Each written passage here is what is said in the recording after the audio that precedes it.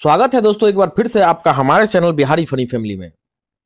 साथियों, अभी से कुछ देर पहले बीपीएससी के चेयरमैन अतुल प्रसाद जी का एक ट्वीट आया है। मैं इस वीडियो में उसी ट्वीट पर चर्चा करूँगा कि उस ट्वीट के माध्यम से उन्होंने क्या कहा है। तो उससे पहले यदि आपने अभी तक हमारे चैनल को सब्सक्राइब नहीं किया है तो चैनल को सब्सक्राइब कर ले और बेल आइकन को दबा दे ताकि वीडियो का नोटिफिकेशन आपको समय प्राप्त हो जाए। साथियों, आप देख रहे होंगे अपने डिस्प्ले पर बीपीएससी के चेयरमैन माननीय अतुल प्रसाद जी का यह ट्वीट है, जो कि शाम के छह बजे आया है।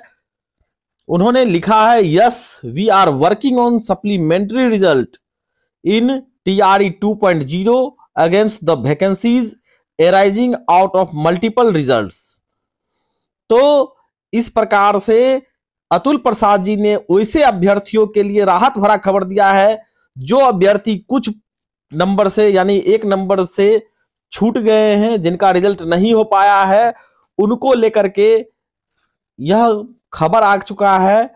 वह सभी अभ्यर्थी काफ़ी परेशान थे कि पता नहीं इस बार टीआरई 2.0 में सप्लीमेंट्री रिज़ल्ट आएगा अथवा नहीं। तो यह बात अब स्पष्ट हो गया है कि टीआरई 2.0 का सप्लीमेंट्री रिज़ल्ट आएगा, लेकिन कितने सीटों पर आएगा?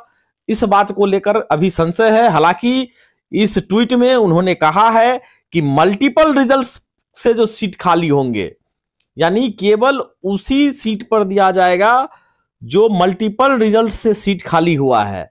उतने ही सीटों पर सप्लीमेंट्री रिज़ल्ट दिया जाएगा, जबकि अभ्यर्थी यह उम्मीद लगाए हुए थे कि जितना भी सीट रिक्त जाएगा, उन सबों पर आएगा। लेकिन आप देख चुके हैं, पहले ही टीआरडी वन में जितना सीट रिक्त गया था मल्टीपल सीट वालों का तो सप्लीमेंट्री रिज़ल्ट आ गया था, सैतालीस के करीब, जिसमें सत्ताईस ही अभ्यर्थी मिल पाए। लेकिन और जितना सीट रिक्त गया था, वह अब टीआरई थ्री में ऐड कर दिया गया है। कल के आप न्यूज़पेपर में देखे होंगे कि टीआरई थ्री को लेकर जो है, तैयारियाँ शुरू कर दी गई है। तो देखते हैं इस बार कितने सीटों पर सप्लीमेंट्री रिज़ल्ट जारी किया जाएगा। हालाँकि इस मुद्दे पर आपकी अपनी क्या राय है, आप हमें कमेंट सेक्शन में बता सकते हैं।